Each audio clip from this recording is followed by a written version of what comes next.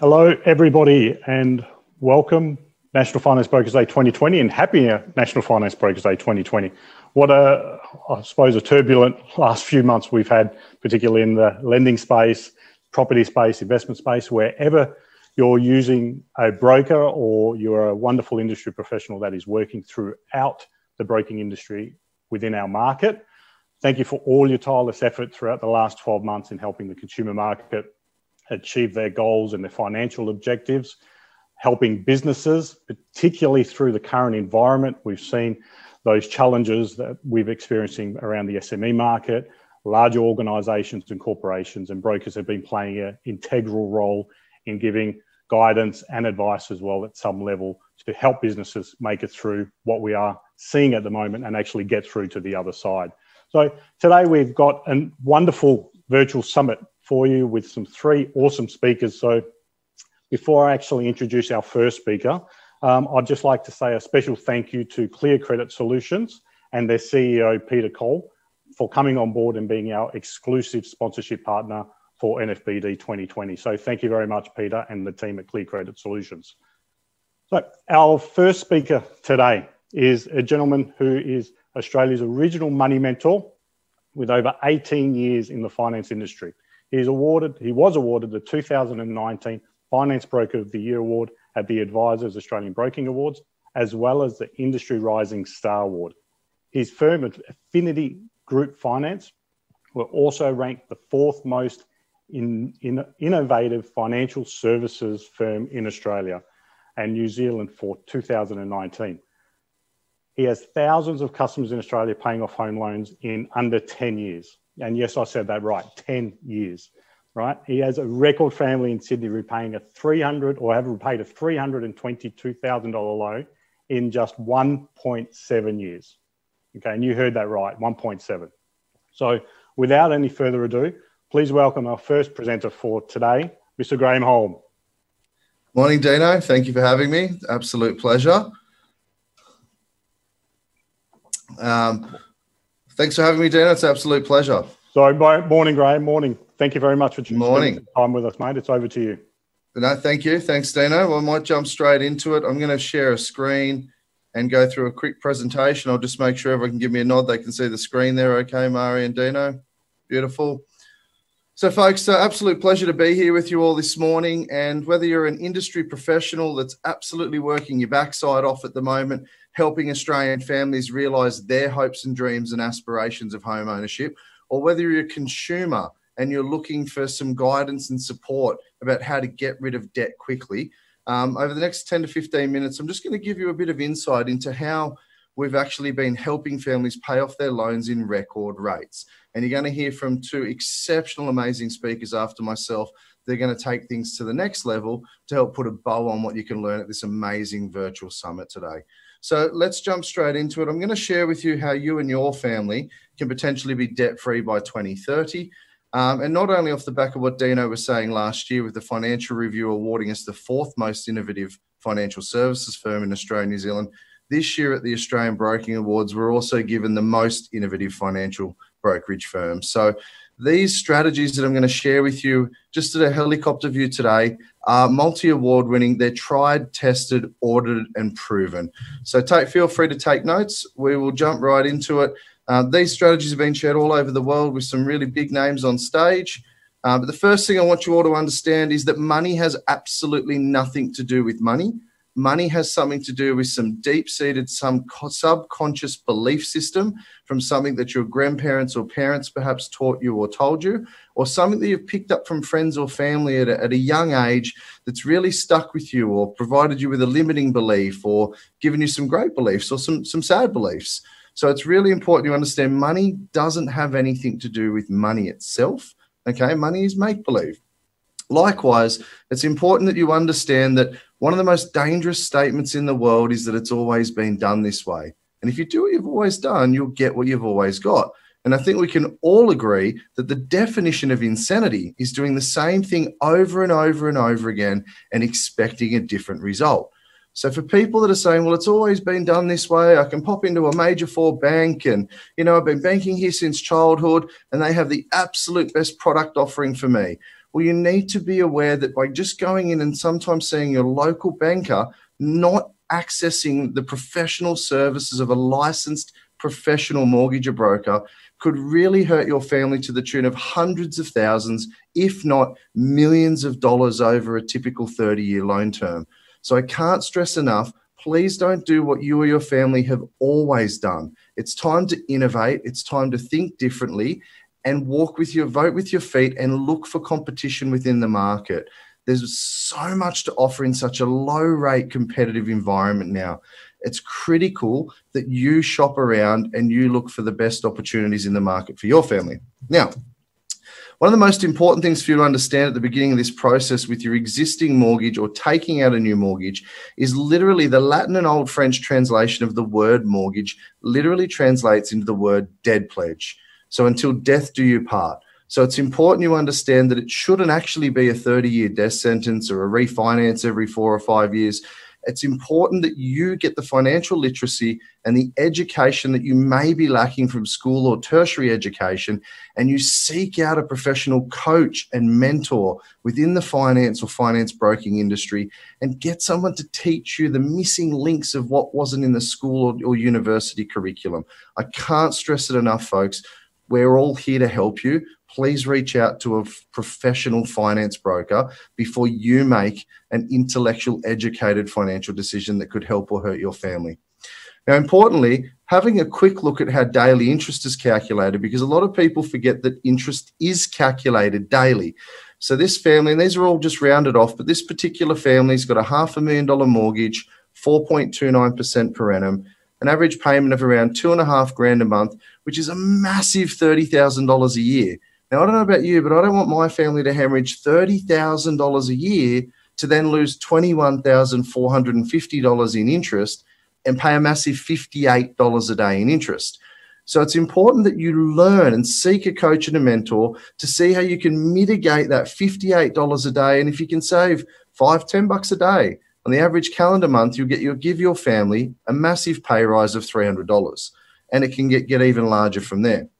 You also need to understand that if you borrow half a million dollars, there's this secret, nasty little thing that you tend to forget about the bloody interest. So you're also going to pay about three, four hundred thousand dollars in interest over the 30 years, meaning that you borrow 500 and pay back eight, ninety, nine hundred thousand dollars. And all of the bank's interest, fees, and charges are front end loaded and at the highest when the loan debt is at its peak. So you need to be aggressive because the first 10 years you'll be lucky to take $10,000 off that loan. And you'll see on screen now there's a representation, that red line being that amortization schedule, as opposed to what we could do in that blue line. So it's really important that you are not just making minimum repayments and you're not getting caught out with what I like to call rate bait with this low, attractive looking, no frills, no fuss, low rate fixed loan where you can't make extra payments and the comparison rates actually several percent higher. So also, another pet peeve that you need to watch out for, folks. If you're refinancing your fam's 30, family's 30 year home loan and you're four or five years in, like the average family, and you refinance just for a better rate, but you don't seek the guidance of a professional finance broker and you refinance again out over 30 years, not the remaining 25 or 26, you're actually doing yourself an injustice if you stretch it out again. So please make sure that if you are refinancing for a better deal for your family, you continue on that current remaining loan term that you have. It's critical in reducing debt quickly. Also, please understand if you're doing this particular structure at the moment and only making minimum repayments plus a little bit extra here and there, that $2,500 a month that you believe is giving you that great Australian dream of home ownership is actually consisting of about $800 in interest and about, uh, sorry, $1,800 in interest and about $800 in principal. Now, I don't know about you, I've heard int- uh, rent money is dead money, but interest money is dead money as well. And it's in your best interest to give the banks as little interest as possible. The banks don't like me teaching you this, but it is so important you give them as little interest as possible. Okay. Otherwise, you're in a position where after $30,000 of your family's hard earned money, net of tax, you're only going to get about $8,500 a year off your loan. Now, That means that 21,500 has gone just for the privilege of saying you're a homeowner and you're very excited and very passionate about it, but then you may be getting some unsecured debt as well. Now, I don't want to take any terrible pot shots today, but a lot of families that I see have read this an amazing book, which I advocate for Scott Pape, who's written The Barefoot Investor. And that's education. So I advocate for it. But personally, I like to label it the wrong footed investor. And the reason being is that banks know that there's a lot of money in confusion. And if you're currently structured like this family when I met them, that was putting their $11,000 net pay into an everyday account, into a bills account, into the loan, into his credit card and her credit card, and the car, and the savings account, and the holidays, and I'm out of breath because that's an absolute cluster. All right. So, yes, I'm short and chubby, which is why I'm out of breath. But likewise, that is a bloody disaster. Okay. It's a disaster waiting to happen. You get this perception is reality that I'm in control of my accounts and I have a smile and a cry and a fire extinguisher. Folks, interest is calculated daily. Please do not fall victim to a gimmick. Please seek professional guidance. In the current interest rate environment where the average term deposit and savings rates across the bank is zero, that's right, 0.8% per annum, you should not have money in a bloody savings account. Okay. Savings benefits banks. It's for dummies. It's not for smart Australian families. The interest rate on your home loan is always going to be superior to the savings account in the current climate and for many years to come. So please do not structure yourself like this. Ideally, I would love to see families out there getting some professional advice so you can actually simplify your life. And it's very easy, folks. There's three dot points here a fully transactional home loan if you can find one, and a 100% offset account. Simplify your structure and do this nasty, derogatory, disgusting bloody B word. That's right, a budget. It's not that bloody hard. If you want to call it a blueprint, a financial plan, I don't care what you want to name it, you need to have a budget.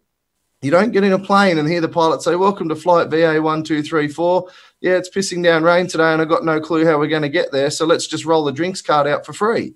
Okay. They have a plan. They will tell you due to inclement weather today, we're going to go around via Hoopty Goop. We're going to be slightly delayed. We're terribly sorry. But we have a plan to get you to your destination. Now, working with thousands of families, about 97% of people, when I ask them honestly, do not have a budget that they stick to religiously. If you do not have a budget that you do not stick to and you just tap taparoo, remember human beings are impulsive and we tend to spend what we have direct access to. And if that's you right now, please at the end of this session, after you listen to all the amazing speakers, please sit down and work out what your family perhaps needs as a weekly discretionary spending habit. When I met this particular family in this example, they were spending over $1,280 a week on Uber Eats, Deliveroo, you name it, takeaway, pizza, Chinese, Thai, and groceries that sat in the cupboard and got thrown out. Lunches, coffees, lattes. We sat down, we did it, jumped online, we did an online shop for everything they needed and takeaway. And you'll see the list here. We got real and we worked out they only needed $750 a week for a family of four in Sydney Metro. It's realistic. It's actually the median figure across all my families of four in Australia. A lot less, some slightly higher.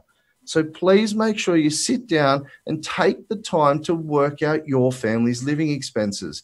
You can save thousands of dollars a year just in refining your living expenses. This is where most of your money goes. I can see right down here in my belly where most of my money went. It's embarrassing. So let's pull back the purse strings a little bit and it'll also pull in the waistline a little bit, if you know what I'm saying. If you're not sure, reach out to a professional. They can help you establish a structure and a strategy of what should be discretionary and what your fixed expenses are. So, folks, please, if you get nothing else from my message today, I'd really like you to understand that features beat rate. I get really frustrated when people are chasing this rate bait, these no frills, no fuss entry level loans. You need to look for a product that's fully featured with an attractive rate in conjunction. So, a couple of the features that you should look for as a consumer is direct salary crediting to the loan itself and free unlimited redraw. And you're going to see in a moment in the next slide why, because we want to direct all your income directly into the loan account itself depending on your circumstances, but 99% of the time, to reduce daily interest charges and only have a weekly allowance for your food, fuel, and fun. This will help with the psychology of money and stop you overspending because you'll be restricted to what's sitting in your offset account without having to actually think about or discuss with your coach or partner how much you should be pulling out of your debt to go buy a pair of Gucci shoes with bees on them. Okay? I'm not sure why we do that. Our feet can't fly, but we do do it. You also need to look for free unlimited redraw. You should look for direct debit facilities from the loan itself, 100% offset, not a partial offset, 100% offset. You do want the lowest rate possible, but for a fully featured loan, not a no frills, no fuss unless it suits your circumstances. Please consider the comparison rate. If you don't know what that is, it's not the average of all the other banks as customers keep estimating. It's the actual rate over the term of the loan. Please don't get sucked into rate bait. And please seek the advice. Get a professional finance broker that can provide you choice and opportunity of all the lenders in the market. There isn't just the big four. Get an accountability partner. Seek professional support and guidance. Okay. And also, folks, look at non retail product offerings. Ask your mortgage broker what's out there in the market that isn't just the big four. The big four are doing a great job, but they are providing retail product A and product B off the shelf. And I know when I've just lost a lot of weight an XL was too, too small and a double XL shirt was too big, I needed a tailor. The shop didn't offer that. So please seek some professional guidance. Don't take product A and B off the shelf. Go and seek the guidance to see what is in the market that suits your family specific circumstances so you can make every post a winner. Now, let's have a quick look at the exact same family when we adopted this award winning strategy. They didn't earn a dollar more. They took the same $11,000 net monthly income, put it into their fully transactional home loan with redraw. Then, incrementally, every Monday morning, we just withdrew the $750 they needed for their food, fuel, and fun each week. Week one, week two, on a debit card, not a credit card. And at the end of the month, we'd withdrawn $3,000. Now, I know what you're thinking. What about bills? Well, we direct debited all of the monthly bills, which on average, uh, on average were just under two and a half grand a month, which gave us five and a half thousand dollars controlled and measured outgoings between food, fuel, and fun and fixed expenses. And that left five and a half thousand dollars as a gross reduction sitting in the loan account before interest was charged. So that's a significant difference when they were doing only $8,500 a year. Now, have a look at the difference. Compare the pair between A and B, $8,500 a year versus 66000 less the interest. Now, the interest would be a lot lower, but if we look at that and say it was still the 21 and a half, you'd get $44,550 a year off your loan. So it's a massive difference. Please seek professional advice please just go old school, folks. Build a simple bloody budget. Stop baffling yourself with bullshit. Oh, I've got a budget. I just don't stick to it. Then you don't have a bloody budget. Stop baffling yourself with bullshit. Here's the key. You're all sitting there right now going, well, yeah, but I, I don't believe this. Where'd all the money go? Let's look at a two, two key areas. One, a credit card. This particular family had a $3,800 credit card. We're trained to look at when it's due, what we owe, and what we can get away with paying. Now we go a step further because we don't look at the little box down the bottom that I've put in red here. And you look down the bottom and go, how is this legal? 63 and a half years to repay a $3,800 credit card and $18,700 in interest. Now, baffles me with bullshit why the home loan interest rates and savings account interest rates have dropped significantly Yet the banks have not dropped credit card interest rates, hardly at all. So please, if you don't have the money, don't bloody spend it. I can't stress it enough. The other one is if you believe you have savings while you have a mortgage, there's no such bloody thing. Put it away for a rainy day. Does that mean you don't spend it if we're in a drought? Have a look at a very quick, simple example. If you've got $10,000 in a kid's bank account, not your offset account, and let's say you're earning 2%, which you're not at the moment, that's going to give you $200 over 12 months. Let's say you lose 30% for tax, it's $140 net. Now, if you put the same money in the home loan like this family did, they would earn 100% of the 4.29%, $429, by not having to pay it. And there's zero tax on the saving. So it might only look like a $289 difference, but there is absolutely a compounding effect in this strategy.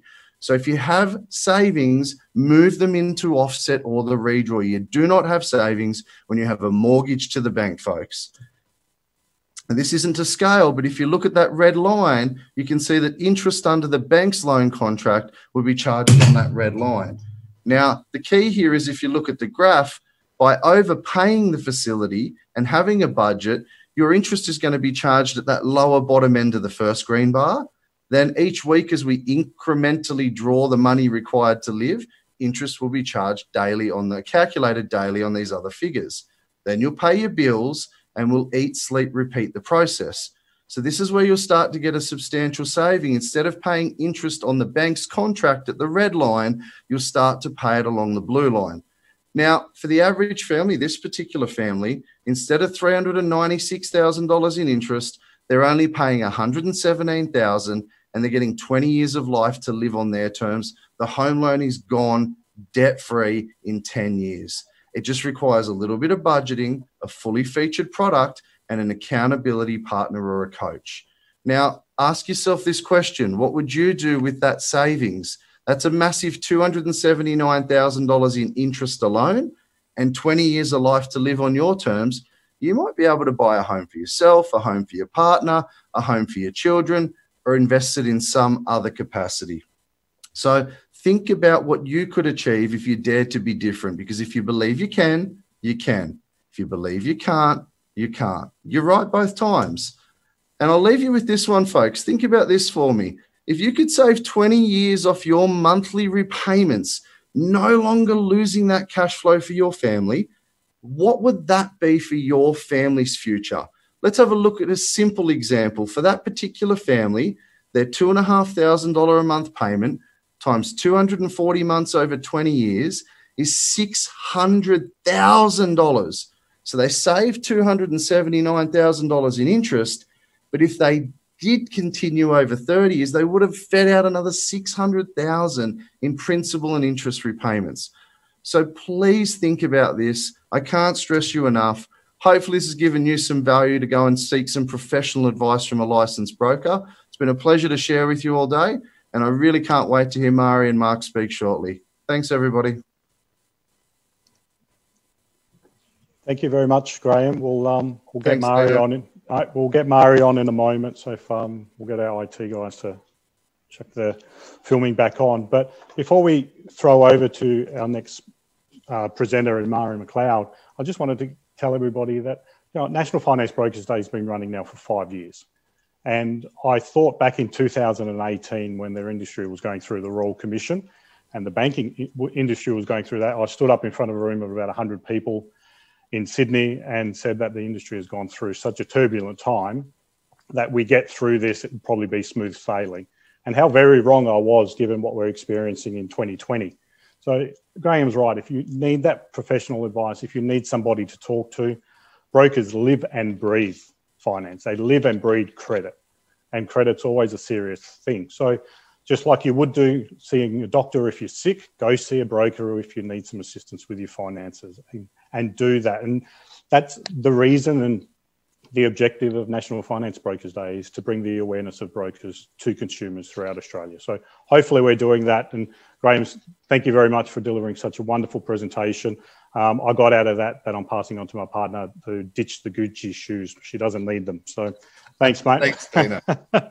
um, okay, so let's get on to our next keynote speaker. So Mhairi MacLeod, she is a founder and principal of Astutability Group. Her passion for excellence underpins the growth and success of herself and the organisation. She's always responsible for the changing for the ever-changing financial landscape. Her open mind and resourcefulness attitude have built many long-lasting relationships. She tips her 19 plus years of experience and knowledge into everything she does. She's passionate about keeping her finger on the pulse to deepen the customer experience, and she sits on numerous panels and boards to help do this. She's a strong industry advocate, hence why we're having her on NFBD today, and gives back at every opportunity, such as developing a young entrepreneurs program to mentor and inspire disadvantaged children. So, some fantastic work. And Mhairi's going to talk to us a little bit about the positive attitude that will bring extraordinary results when you're dealing with a broker. So, without further ado, please welcome Mhairi MacLeod. Good afternoon, everyone. Thank you, Dino and National Finance Broker Day for having me today. Um, you're right. I'm going to be talking about how a broker can bring such positive um, insights to clients and their families whilst using our services. Uh, we are all professionals, and uh, using a professional such as a mortgage broker, whether it be for consumer lending, whether it be for commercial lending, um, mortgage lending, we actually have the knowledge. Um, so that value proposition also goes hand in hand with who we get to partner with um, choosing your partner as a broker is very important to bring those extraordinary results to our clients. Now, as we all know, all our clients are very, very unique. So, using a broker rather than um, at, you know, in this day and age, we've got artificial intelligence and we've got whiz bang ways of, you know, trying to obtain a, a, lend, whether it be for a personal loan, a car loan, equipment, shop fit out, or a mortgage. But what customers really need to understand. And I think what customers are actually bringing back to us now as brokers, they want that warm, fuzzy feeling of feeling secure in their choices. And we give them choice. And it's important to understand that brokers work with their clients to get that extraordinary result because not everyone is the same. So when when customers are looking around for a broker, quite often I'm asked, how do you find a broker? And for me personally, um, Dana, it's a little bit more than 22, uh, 19 years. It's 22 years I've been in the industry. Um, so for me, finding clients and their needs and wants, and for them to find me, it's a two-way street. So one, uh, being part of a, a, governing body that recognises you as a professional, that is one point of call that your client can go to. They can research MFAA, FBAA, etc., uh, CAFBA to see if if you are registered. So that's a good starting point. But for brokers working in local communities and working with word of mouth and advertising, I think the key point is actually getting out there and meeting people in your community, asking for referrals with the customer base that you have. So throughout the journey of, of using a, a mortgage broker or a finance broker, an asset broker, you get to build a rapport with your clients. Um, now, as, as horrible as this sounds for me, I've now got clients whose 18, 19, 20 year old children are coming back to me. They were my first clients when I first started. And so I've been able to build um, the rapport, the ability to show that I am knowledgeable in my field, make them feel warm and fuzzy, and actually hold their hands through the process. Because in today's market, it is a process there is no such thing as a vanilla deal anymore. So, by having the expertise of a broker and educating, I think brokers uh, these days have become more educators to consumers on the outside about what they should be learning on their own finances. What is a credit score? What does it look like if you jump online and start filling in your own applications? There's no extraordinary results at the end of that. So, unfortunately, um, those customers that haven't had the luxury of working with a broker before, sometimes I get those clients into my business where they've gone, Oh my goodness, I've done something to my credit score. And when you go and have a look at it, lo and behold, they've gone online and just built it out a whole heap of applications to see which one's going to land. Quite frankly, it lands flat on their faces. So, I think key components in, in slow times like this um, and hard times is to educate your client, educate your community and your tribes that you work within. And by doing so, you're going to have a better result for your client. Uh, one of the key things that I've done over the last few years is actually starting to educate high school students on what it actually looks like to to have control of your own finances. And it's the simple things. Um, I'll give an example. I, I went out west and, and, spoke to 400 students. This is a couple of years ago. And a lot of them were uh, immigrant children that had, had just come into Australia in, in their second year or third year of um, high school. And we were talking about what it means to understand how to read a pay slip. Do you get super? A lot of these children were eight, well, not children, that they were adults, 18 to 24 year olds.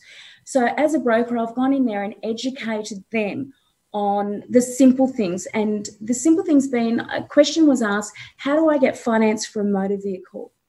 A lot of those students did not know that you can only register a car in one name, not two. And quite often, I've seen a, a young fella who, who's second or third year apprentice has gone and bought a car, put it in his girlfriend's name, and the next minute she's driving up the street to see the next bloke, and he's paying for the car because the finance is in his name. Who owns the car? Not him. She does. It's registered to her.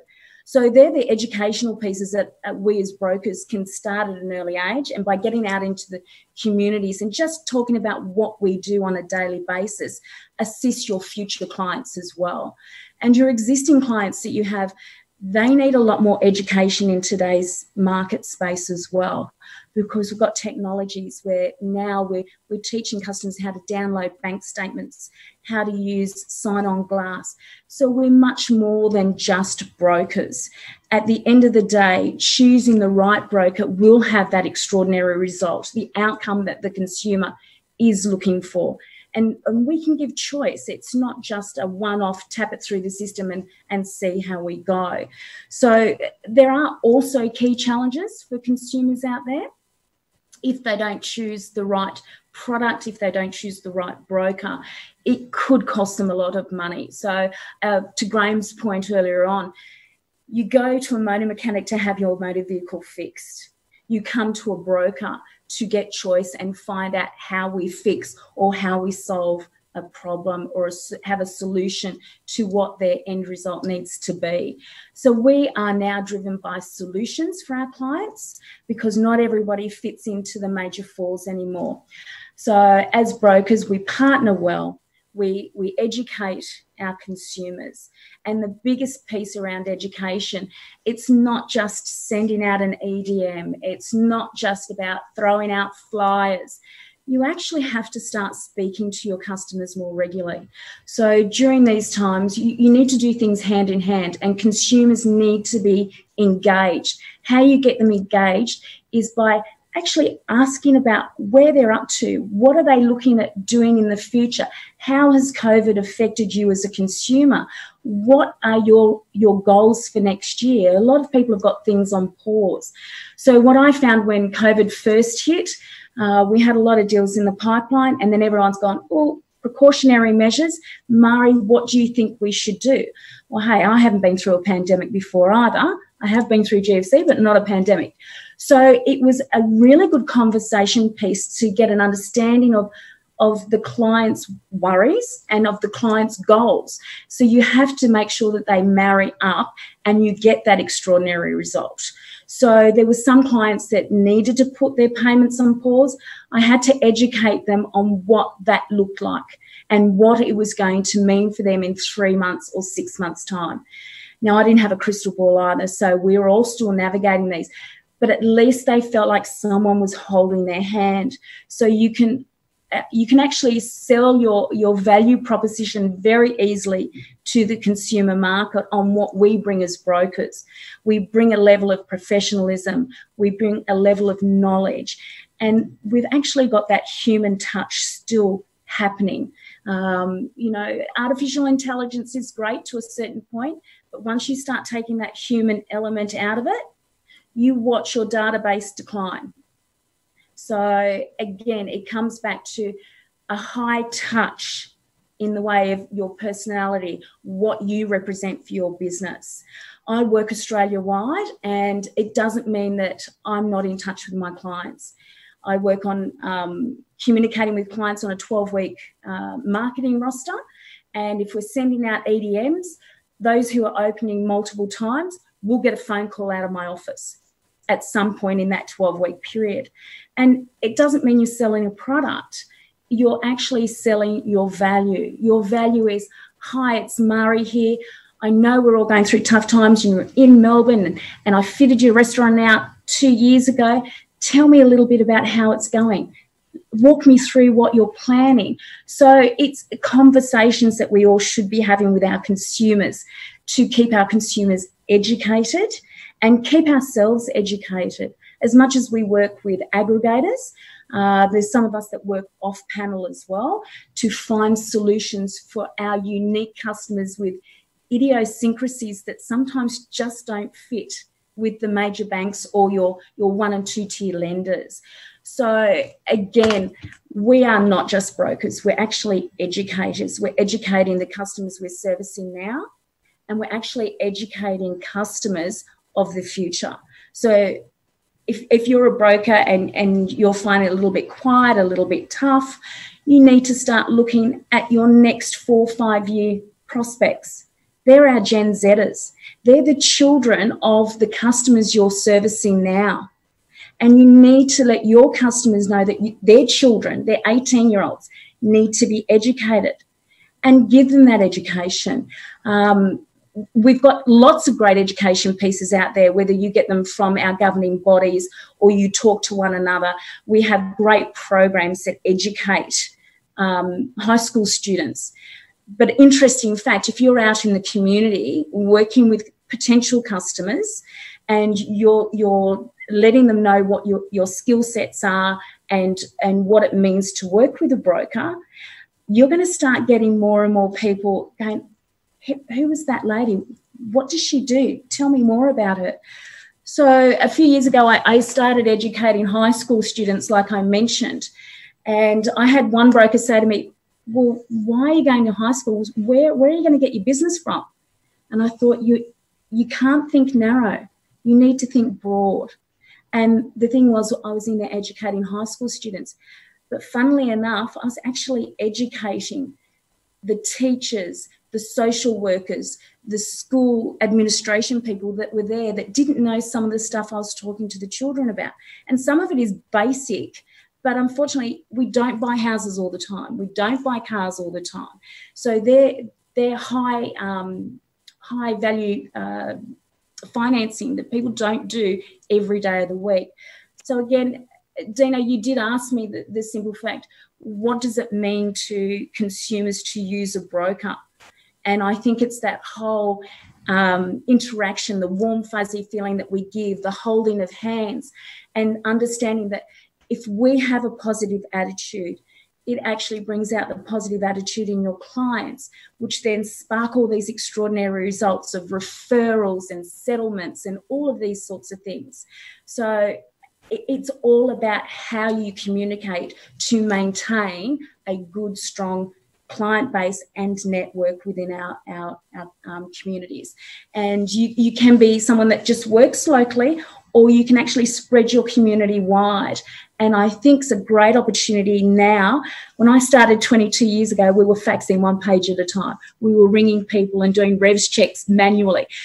We are so privileged today to have this technology that you can work Australia wide. You can still give that warm, fuzzy feeling and education to your customer, whether they're in Melbourne, Sydney, or Brisbane. So the key point here is, is to look at your business, look at your clients, and start communicating, asking them, what is it that you need from us as brokers? Have you got five minutes for a coffee? So again, one other important thing is your smile is your logo. So if you're not smiling, you can smile down the phone, you can smile at someone, you can smile in an email. And so that's really important. Awesome. Wonderful, um, I suppose, presentation. And the highlights for me out of that, Mario, was definitely around that education piece and what brokers deliver. So I think you've summed up today's theme and the hashtag, which is the broker effect and having consumers really experience that. So that's gone definitely um, that was a strong point that I was getting in the message. So thank you so much, Mhairi, for sharing that knowledge and that experience, and keep up the fantastic work on educating, I suppose, the younger consumer market because they're the up and coming generation where they're going to take advantage of using the brokers. So thank you. That's fantastic. Um, and everybody for watching, keep sharing. We've been seeing some wonderful social media pics already around celebrating the broker day. Keep sharing your pics around social tag the NFBD day, tag myself, tag the speakers, and use the hashtag the broker effect as well. And we'll be putting together a little collage over the next couple of days and sharing that across the social media pages to show show people how NFBD was celebrated and how it's actually really highlighted what brokers are actually doing. But okay, so let's get on to our final keynote speaker. Um, this gentleman has joined me on the NFBD bandwagon since day one. And I met him back in 2000, early 2016 in his office, and you'll see part of that in a moment. Um, and I tell you what, it was very, wasn't easy, but I, when I spoke to this gentleman about what I wanted to do and the reason I wanted to do it, uh, his positivity and his mindset was jumping on board because he knew there was a reason on why I was doing it and the objective of the actual initiative of National Finance Brokers Day. So I thank him personally for that, for being on the journey with me year in, year out. But this gentleman has built a reputation as a finance specialist in the top echelon of corporate life. He's always been willing to share his boardroom, his boardroom of knowledge with rank and file Australians. He's the host of the Mentor podcast of the Southern Cross Austereo Podcast One, and that's already attracted more than 2 million downloads. He's in a unique position to share his financial experience with a growing number of, of Australians keen to bottle his advice. In 2019, he had a three speaking tour which brought together more than 9,000 small business owners and entrepreneurs who were keen to savour his advice. His sharp financial analysis has been followed and, in many cases, adopted in recent years through his pre- previous forays on national television as the host of The Apprentice and The Celebrity Apprentice on the Nine Network and The Mentor on the Seven Network. He's established a career from building disruptive businesses to challenge the market and provide smarter solutions for consumers. His mainstream position includes executive chairman of publicly listed Yellow Brick Road Group. Please welcome my good friend, Mark Bouris. Hey guys, can you hear me all right? All good? Gotcha. Um, thanks, Dino. I guess uh, well, it's, it's interesting what uh, both Graeme and Mhairi have just, Graeme and Mhairi have just uh, told our broker audience, and, and also I guess those people who are not brokers but happen to be tuning in, is that the importance of um, education. So everything Graeme said is everything he went through is actually really minutia detail education, and and it's to, to all to some of us we uh, we've heard all this stuff before, but to be frank with you, it's the sort of stuff your clients, our clients, the clients of the people we deal with as brokers do not know about, and they need to be educated and carried along. And what Mhairi's been talking about is equally important too, and and I think Mhairi actually added a, a, a slightly different bent to all this, and that is the importance of communicating and communicating broadly. And I think, and I, I thank them for doing what they've just done. And I think all the brokers who are listening to this, if you are talking to your clients, you must remember one thing is that brokers have um, evolved from where they were in the days when I established Wizard, where we were just sort of basically pass throughs. I mean, you know, you came into my office and we gave you a loan effectively, and it was the approval process was very uh, simple, very fast and efficient and we asked hardly any questions, and all it was about was you getting the dough. Um, and so that's a those two aspects we just heard are, are, critical, and you should use all the mediums, social mediums, emails, text, telephones to talk to your clients about the sorts of things that both Graeme and Mhairi were talking about. Now, but I'm here to talk about. I'm old enough to talk about property markets, um, and uh, and for many years, I, I, go back about 20 years. I remember 20 years ago, um, uh, I used to get asked, invited by um, the uh, Economic Forum to um, have debates about the property market. And generally speaking, given we're in the lending market, um, I was always in favour of the property market, and I debated all sorts of people, like Harry Dent, for example, and uh, um, who was always negative the Australian property market because he was a, a big believer in the, um, um, uh, uh, the, what the economist's view was about the Australian property market. It was always he was always predicting a crash. And if you go around predicting a crash, eventually you'll get one, um, and eventually you'll be right. And you can sort of say, "Look, I've been telling you that for the last ten years." But but Harry Harry's thinking was always flawed, and and I used to do these debates and. I remember I haven't done one of these debates for a long time, at least 15 years, but I remember that it was always around a number of things, but in particular, the most important thing is we need to talk to our clients about property as an asset class. Now, and an asset class is something that gives you yield. Um, it's something you invest in for yield. Now, even if it's an owner-occupier home, there is yield involved in that. In that is there is an assumption that the property will go up in value over time. Or if you're an investor, you get a, a, a rental yield out of it, plus you get a capital gain yield out of it. And of course, Graeme sort of correctly indicated that property is, in this country at least, is a favoured asset class in that the tax treatment of a property transaction, either as an investment property that gives you a capital gains tax, which gives you a discount on the sale, which means it increases your yield, is a very important thing. And a broker should know that, and a broker needs to talk to his or her customers about that. But equally, it's even more important, even more valuable if you're an owner occupier because it's actually tax free. So the yield is even greater. So property must be looked at as an asset class. And if you're a broker, you need to be communicating, just like Mhairi just said, you need to be communicating to your client base about this asset class. And you need, therefore, to understand about this asset class and what are the sort of drivers of this asset class because we're all interested in when property markets are going to go up. And equally, some of our clients are interested in our views when property markets are going to go down. So if you're addressing your client, you need to be able to have a conversation to your client and you need to be able to talk, not necessarily as an expert, but you need to be able to talk with knowledge and confidence about that particular asset class. So, you know, we don't have um, property, uh, we don't have experts in this asset class. And, you know, real estate agents aren't experts in this asset class. Um, unlike if you go and see, you want to buy shares in the stock market, you can go and talk to a stockbroker. A stockbroker can give you views on this. And, you know, a stockbroker seem to be a specialist in the asset class. You can go and talk to a financial planner about um, other asset classes, which financial planners may be experts in. But really, to some extent, this is an area that brokers can own. They can own this, um, not so much be an expert, but someone you, the client, can have a conversation with about your um, aspirations in relation to this asset class. And if I go back, it's interesting. Three months ago, um, the car industry was in all sorts of problems, and they they're three four months ago uh, uh, as a result of COVID. People were just not going to car car sales yards and buying cars. It's funny, you know, more recently in the last month or so, there's been a change in the mindset about people about cars. And all of a sudden, SUVs and many other new car badges are, are being sold so rapidly at the moment as compared to what it was three, four months ago. So this there's been a massive COVID change whereby there's huge demand now for cars because people are taking the view that I don't want to take a train or a bus to work anymore. So therefore, I'm going to drive. There are a lot of um, discounting in, in the cities in relation to uh, where you park your car these days. So it's not as expensive today park your car in say Sydney as it was five pre-COVID. Um, there is a lot of companies who will um, subsidise your parking in the city. So people are now saying, well, I, I need a car and I need a new car. That's one.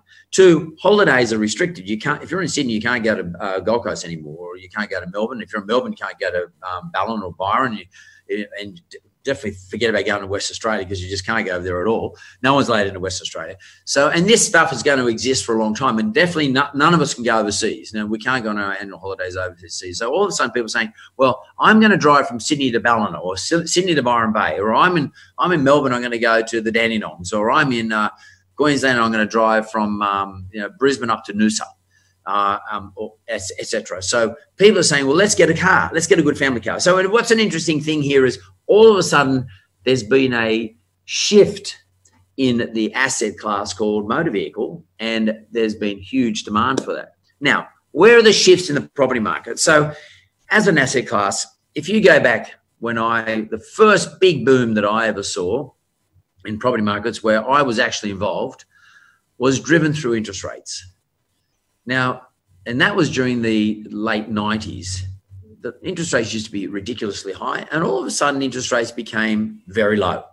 And what happened there is that drove property markets and property prices, residential property prices in this country went bananas. And that to some extent drove my Wizard business.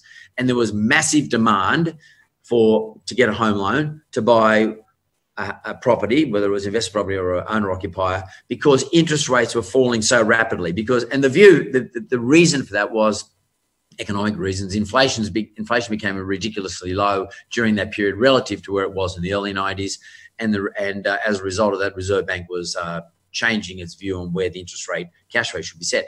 So that interest rate change affected affordability, and affordability is the biggest driver of property prices. Uh, it is the affordability it, well, sorry, it was the biggest driver of property prices. So when interest rates used to fall, property prices used to go up. So everyone used to chase property property as a, an as part of, as part of their portfolio as an asset class. But what's interesting today is there's a change. Um, interest rates are permanently low.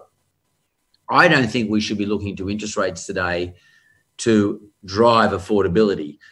It's at the margin. So, you know, Graeme might be talking about, uh, you know, someone borrowing money at three and a half percent. If if the money, if the interest rates actually falls to 3.25, it's not going to necessarily drive the, the market like six rate reductions would, would drive the market. In those days, we used to have a series of rate reductions. Now we're going to get one or two even at 2.19 or there's a there's a I think NAB's got a, a fixed three two two year fixed rate at 2.19 at the moment. I, the comparison rate might be is obviously going to be slightly higher. It might be three 230 or something. That's a ridiculously low rate. But even that, that's not going to drive the property market. So we've got to find out what are the and these are the things, the discussions you're going to be having with your clients. What is going to drive the property market or affordability today? And uh, and affordability, by the way, is you know from you, the broker's point of view, and really ultimately from the client's point of view, is when it was interest rates driven, is translated into what's it going to cost me per month, whether I get an interest only loan or a P&I loan. What am I going to pay per month? They are interested in interest rates, but they want to really know what is it going to cost me per month. So you as a an expert or, or, as a broker, you need to know be able to do those calculations fairly confidently, fairly rapidly, so they can get that sense. What is the cost per month? Now, what is going to drive that cost lower? Well, it's quite interesting. Um, obviously, price. I mean, you know, if I'm paying five hundred thousand dollars for something as opposed to a million dollars, um, uh, the five hundred thousand is much more affordable. Um, and uh, because the interest rate for a million dollars is the same as interest rate for five hundred thousand dollars, so that's sort of like a constant. Um, my my repayment is going to be much lower if the price is lower. So where how am I going to sort of get my head around where lower prices? Where do they exist? And where is the demand? Now, clearly, you know, you can go and buy low, something lower price because you go and buy an apartment. It might be a half a bedroom and uh, whatever. It might in Sydney, you might get nothing. You might get 35 square meters for half a half a million dollars in Sydney for an apartment. Um, sure, that's more affordable than something worth a million bucks. But at the end of the day, you know, that that 35 square meters, you know, the chances of it going up in value over time are constrained or somewhat constrained. So where am I? Where, where, are the changes in society? Where's the societal change, the cultural change that is going to drive new demand? Well, once upon a, upon a time, demand was also the algorithm for demand. Not only was about affordability, but it was also about where are the jobs. So people wanted to buy where the jobs were. So Sydney, Melbourne, Brisbane, um, the cities is where the jobs are. The majority of the jobs are. So people knew they had to live in the city or in Sydney, Melbourne, Brisbane, or Perth or Adelaide, but in the major cities. And th- therefore, house prices by definition were going to be, well, property prices by definition were going to be driven up because of um, demand, just sheer demand. And also, you have to look at where's the population growth and what drives population growth, or what, what I mean, we know what drives population growth is immigration and uh, people having kids, but what drives that population to grow in a certain place? It's the jobs. Where are the jobs? Now, we have seen in this last six months a change in where the jobs are. People now don't have to work. For example, in my own business here in Sydney, in uh, the Chifley Square, um, my staff, you know, there's a couple of hundred of them. Most of them now work from home, so they don't have to come into the office anymore. And some people live an hour and a half away from this office, and they and you know, we, we're happily allow them to work from home. And the reason why they work from home is uh, because they don't have to travel on the train, they don't have to line up on the train or the, or the bus, they don't want to have to expose themselves to potential getting potentially getting the virus. I don't want to expose them that to either. To that either, as well as that, it takes them a lot longer to get into work today than it used to do. So therefore, they're unhappy about that. So it's actually better for me to have them work from home, and as long as you know I'm getting the output, I'm happy.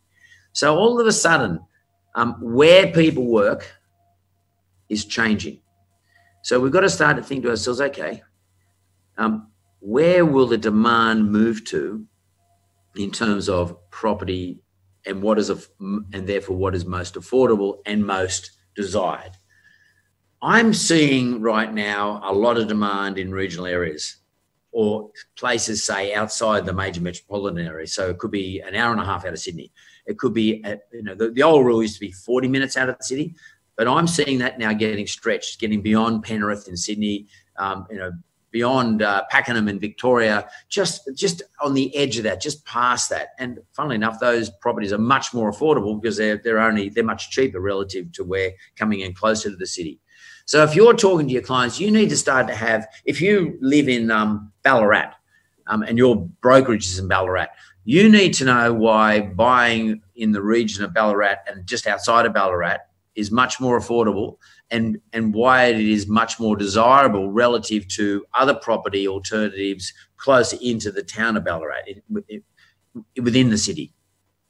Or if you live in Sydney, you and your brokerage is in say Parramatta, you need to start to think about uh, why your clients may be buying ex- outside of Penrith, uh, beyond Penrith, and or beyond Parramatta and those sorts of areas because and, and you need to give value to your customer and you need to talk to your customer about this. You need to communicate both on social mediums and be open about it. Not just one-on-one meeting when you're just sitting in front of the customer, but you need to have an understanding of where the prices are booming. Like if you, you think about places like Orange in New South Wales, like it's gone off the Richter scale. Um, places like Ballina and, Bar- and Byron Bay, uh, gone mental. It's got it's gone crazy up there. Prices just got out of control. Um, and there's a whole lot of reasons for that. People can now work from home. Um, um, people now know that they can get a tax deduction for part of the time they work from home because they're working from home for obvious reasons. You know, they allocate a, a room in the house, that should be tax deduction. A portion of their rent or their interest rate, I should say, is going to be payable, uh, is going to be tax deductible. There will be depreciation available for the fact that by by virtue of the fact they've got a dedicated room and their part of their internet will be deductible, part of their telephone will be deductible, the mobile phone will be deductible. Um, there's a, they might have a coffee machine. They might say the coffee machine is deductible. All of a sudden, the house, a bit like the the cars that people now want to have to drive off to their holidays, are more desirable, and the car market has picked up such so much so that to some extent they can't even get enough supply for these particular buyers. Homes, which are where it's cheaper to pay principal and interest than it is to rent become very desirable because people are stuck there much more often, are much more conscious of being in their own home if they can be, because they don't want to have to be moving home every six months, every 12 months. And this could, this, this is a new, this is a change in the way we live our lives and our working lives in particular.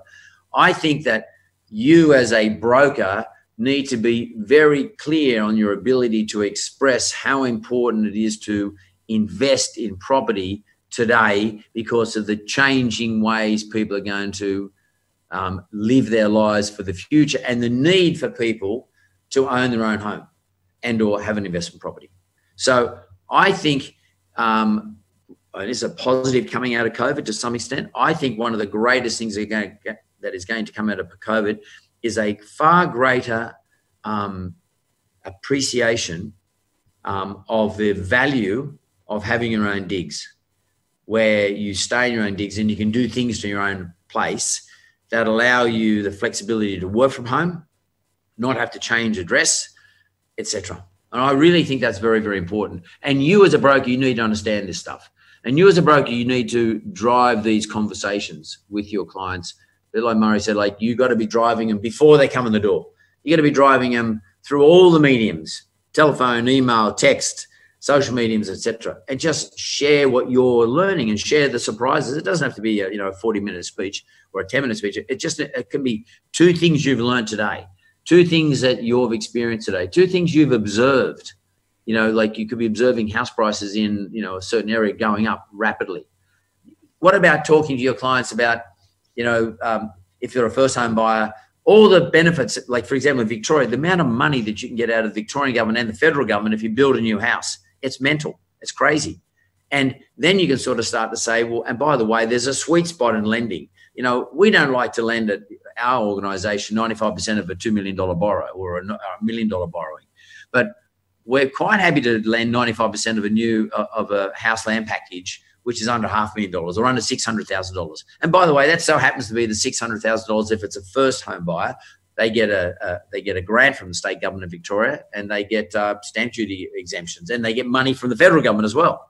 So they get this hundred the the twenty five thousand dollar grant. So you need to build all these things up and start to drive where the demand is for people who want to participate in the property market, whether it's first home buyers or whether it's people just buying investment properties, looking for tenancies.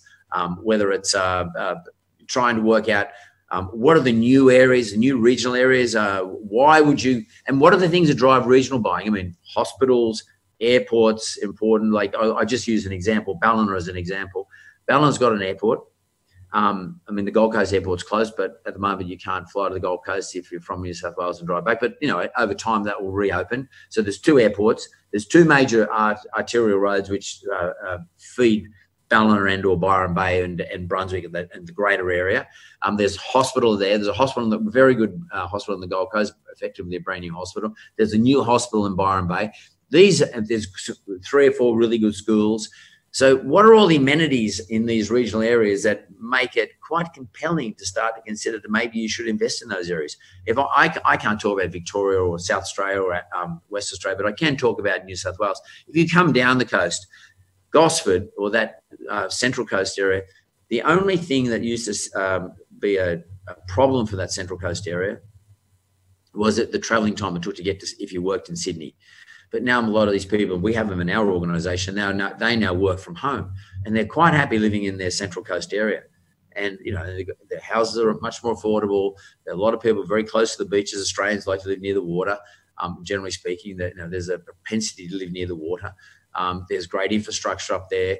You know, and infrastructure includes things like it sounds a bit silly, but um, what are considered to be um, essential services like Woolworths and Aldi and Coles. I mean, they are considered to be essential. Like uh, even in Victoria and places like that, where a lot of things are closed down, those all places are still open. So you, it's better, and you want to be living around those areas because you know you might need to be able to walk there, or you might need to only have to travel there within a five kilometre radius.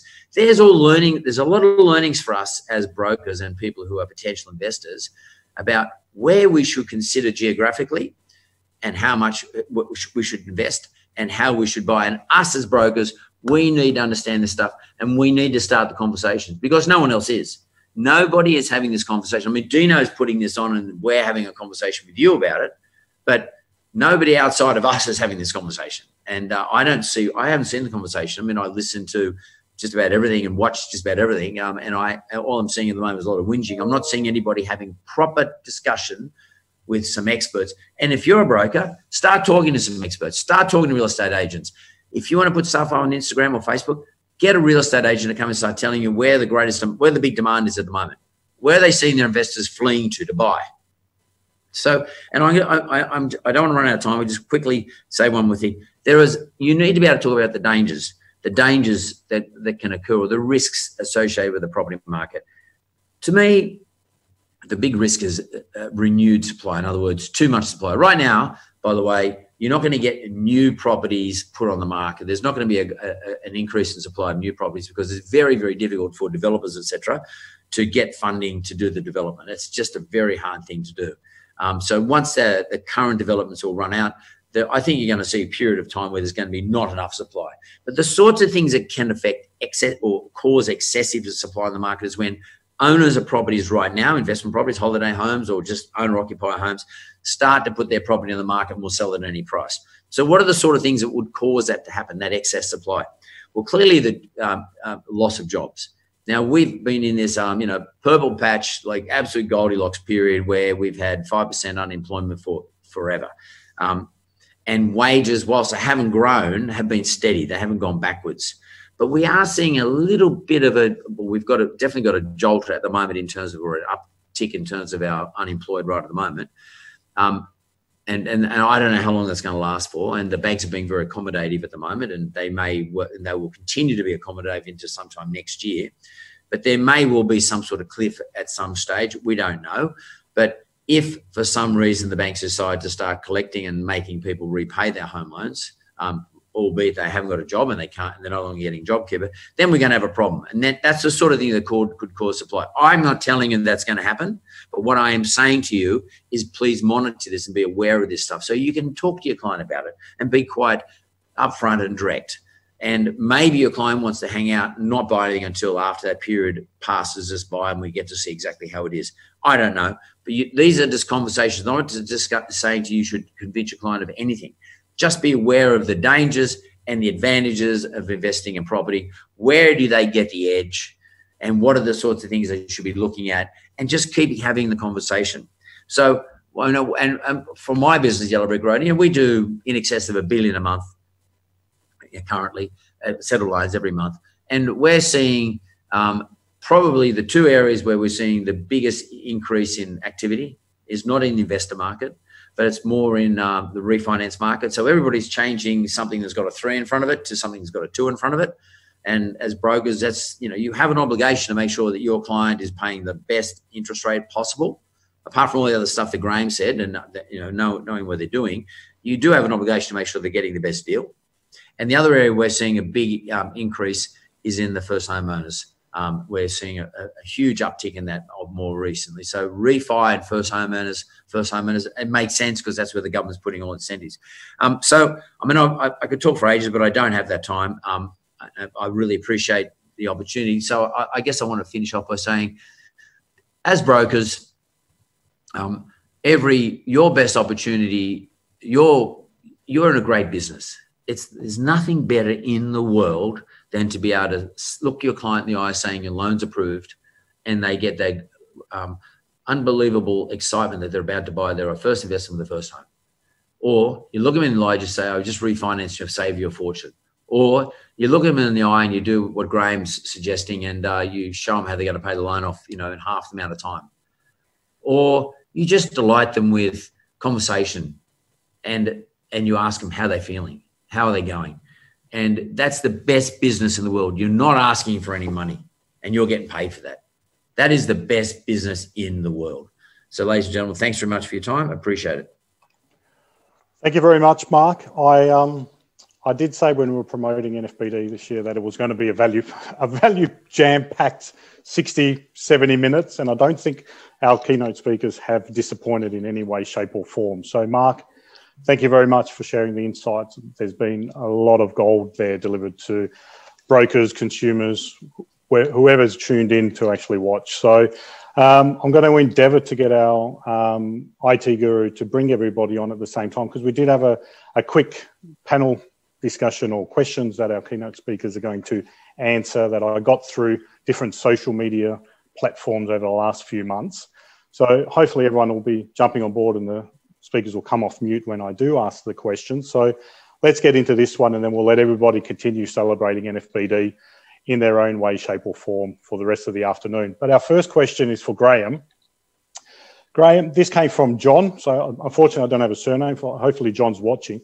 John's going, should I be using an offset account or in those inbuilt redraw facilities? Which one's better for him? Mm, good question, Dan. I mean, look, everybody should should be based on their individual circumstances. What I would say is historically there's been a really unfortunate trend of a lot of major institutions not correctly linking offset accounts. They're not an audited account. The loan under NCCP is. So I know my personal preference, and for most of my customers in the Infinity family, we suggest you put it into the, the free unlimited redraw facility uh, and reduce that interest. But there's a psychological benefit to that, John, if you're listening, and that is that human beings are impulsive and we tend to spend what we have direct access to. So if you can keep it in the redraw as if it's off the loan and it's forced savings, it's there in, a, in you know in need of emergency. Um, but each to their own. I suggest people try to keep as little as possible in the offset and dump it all off the loan. I mean, hey, the goal at the end of the day is to get rid of that debt. But each to their own, John. I would suggest the loan.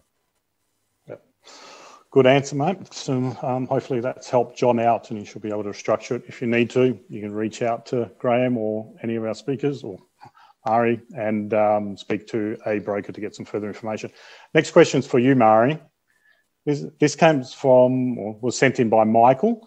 He was asking, with changes that we're now experiencing, presuming he means through COVID, um, what's the best way to find a good broker?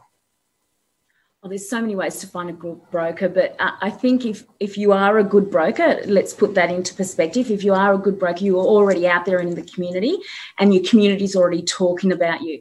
But again, like I said in the earlier presentation, we've got governing bodies that list um, licensed brokers, registered brokers who have street cred. So there are lots of ways. And also, we've got a great community that we all work within that we fall back with on one another. So there's certain things that I'm not fa- fabulous at. So I will ring up a, a broker that I know who is very good at a certain type of lending that I'm not, and I'll ask them to help me out and I will forward the client on. Because as brokers, I think sometimes we want to try and help everybody in every aspect of the business. But let's be honest, you can't be good at everything. And uh, I know myself after 22 years, my focus on, is on asset commercial lending. I'm not a, a, good commercial property lender, so I have resources that I send out to. So, again, to find a good broker, you will find it within your own community, and those customers are already seeking referrals from accountants, from customers that have used a broker before. Great, yeah, good, good response, Marion. Hopefully, that's helped Michael if he does need a, to find a broker or another one at that stage. Um, next one came in from Julia Mark. This one was directed to you or for you. Um, and I hope you got a crystal ball ready because Julia wants to know, Mark, do you think we will see an increase in, in the property market as early as 2021? And we might might just need to get you off mute, Mark. That's right. Sorry, Thanks. All good. Uh, that's a different question. Um, I, I, guess I need to know what region she's talking about. Um, if you're asking me, um, if she's asking me on a national basis, national average basis, mate, that's quite possible. The answer to that is no. I mean, if you read all the commentators like CoreLogic, etc., and hear what they've got to say, they're predicting um, a, a, reduction in the av- national average price over the next 12 months. But I, I can tell you now that there are um, districts and areas, and I said, as I said, within regional parts of Australia, especially, um, where prices are, are actually going up. So you've got to be careful. You know, national averages are misleading because no one buys on a national average. I mean, you don't buy a national average house or property. You buy in a particular region. So you really need to be tracking the region. And the best way to answer her question for, for, for that lady to find out the answer to her question once she knows, if, if she knows which region she's talking about, start talking to some of the good real estate agents, just find out how prices are tracking, or go on a domain or go on a, go on a CoreLogic and have a look what's happening with that particular district. Get proper data. Yep. Good advice. Good advice. There you go, Julia. You heard it from Mark himself. Um, there's one question for each of you, so three more remaining. Uh, Graeme, Peter wants to know if he goes, we have a mortgage of approximately 300,000 um, at a 3.49 interest rate. Is it worth us refinancing? Oh, 1 billion percent, Peter. there you go. three point, three point, short answer, yes, mate. Uh, 3.49 is a bit heavy at the moment. As you heard Mark illustrate earlier, that most people are swapping with a three in front of it to a two in front of it. But again, as I touched on earlier, look at a combination of, as Mark said, the lowest possible rate but as well as the features that allow you to repay that loan quickly if that's your strategy. But you need to have a strategy in mind. Don't just take out a debt and a rate and think that it'll all see itself through. You need to have a strategy in mind. But definitely look at seek the advice of a professional finance broker, um, whoever's close to you. That if you want to see them physically, if you're in a safe COVID area, definitely look at refinancing. There you go. Uh, you heard it from Graeme Peter, so worth getting in contact with your broker. Um, Mhairi, this one comes from Louisa. She was asking you, my partner and I are looking to purchase a restaurant business. Uh, can a broker assist with this? And if so, what are the perks of using one? Oh, well, the perks are all over the shop at the moment because we actually have to find a lender that will do a restaurant in the middle of COVID, just saying. But anyway, it is still very possible. I have done one in the last four months. It was an exceptional rule, but um, what they need to be looking at and considering are they, how much of it is goodwill? How much of it is equipment? So, as a broker, we have a checklist. We have a true understanding. Is it going to be a going concern? Is it going to be run by the architect? So, is it project managed? So, these are all the things that we drill down with the customer it is very, very possible to potentially have that broken up in various pieces, whether it be equipment funding, um, cash out funding. There's so many variances when it comes to, especially a restaurant. Um, it's it's something that I like doing. It it's certainly it's not just a challenge. As Mark said once before, it, it's at the end game when you see the client, the relief on the client's face, when you've pulled this amazing vision that they've had together at the end of the day and you've done it all in one go. So um, there's so many key components to financing a restaurant these days. It's it's something that you do need to spend a lot of time discussing with the client, the architect if they're doing a fit out, and also their accountant. It's not just a, a one size fits all. We may have to go off panel for some of it, depending, um, but again, we we line all the little ducks up in a row and we, we build the picture. And like I say to my clients, I'm going to be your Picasso. I will paint that picture for you and for the lender, and we will make this happen, and it'll be an, an extraordinary result. So, again, it, it's about knowing your customers' um, true end result, and we paint that picture to get to the end and the pathway to it. So, that's the exciting part. It's all doable, it's all possible because we find solutions. Oh, thanks, Picasso MacLeod. There you go.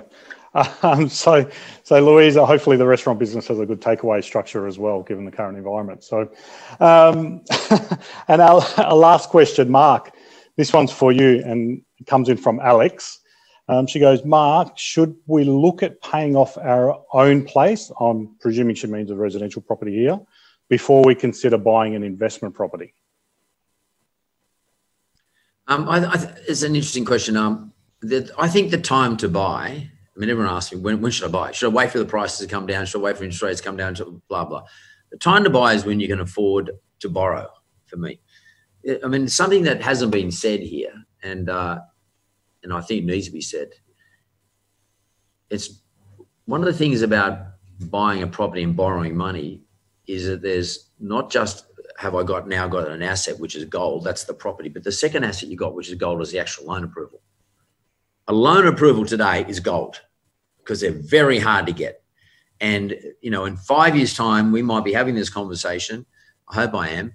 And we might be saying, Mark, that was correct because today to get a, a loan five years hence from now is really difficult relative to what it was in 2020. This is only getting harder. So if you have the ability to borrow money today to buy another property, in other words, perhaps use your extra income over and above what you're using to service your current debt to um, to service a second debt. For me, two debts are gold. Now, I'm not, you know, some people might say, "Well, pay the loan, get rid of your debt, and go and buy something else." I mean, I, I get all that. I mean, I get the fundamentals of that, but if you can uh, if you can afford to borrow a second amount of money and buy a second investment property and assuming you're paying the right price for the property and you get the right interest rate and you know the assessment is correct in other words you're secure about your job um, for me i would be nailing the second loan because that will prove to be gold in the future okay um, there you go alex you heard it from mark and where that's heading um, because that actually brings our questions from our audience to a close. Uh, but before we do close off the NFBD official event for 2020, I'll just go back to our um, panel members and see if they had any closing remarks or questions or insights that they wanted to leave everybody for tuning in. So, Graeme, first of all, for yourself, thank you so much for joining in and showing your strategy on how people can actually slash a 30 year mortgage to under 10 or mate, if they're lucky down to 1.7, like that lucky family that you've helped down in Sydney, God bless them. That's um, Graeme, any last words? Look, I really just want to touch on that and concur with Mark that if you have that serviceability at the moment, it is getting tougher. And I believe as well it will get even tougher. So, you know, I would suggest to people that, like Mark said, make sure you're paying the right price in a good location. Yield is a significant factor. What return are you getting on the investment whilst you're waiting for that capital appreciation? But statistically and historically, we know what property does over time. So I would suggest to people go and talk to your broker, see what your capacity is, how you're living at the moment. If you can get a loan approval now, as Mark said, for an investment property and get that depreciation and deductions and that capital appreciation over time and the cash flow in the interim, if you can get an approval for that, it, it's geez, it's a precious metal. It's it's beyond gold. It's it's platinum, isn't it, Mark? It's it's, it's, it's something special, and that that long term delayed gratification of taking that action now is going to be really beneficial to them come retirement time. So I just really want to to touch on that and, and agree with Mark there. It's really really important they explore it. Wonderful. Thank you very much, Graeme. And again, thank you for your time and thank you for celebrating. Thank you, Dan.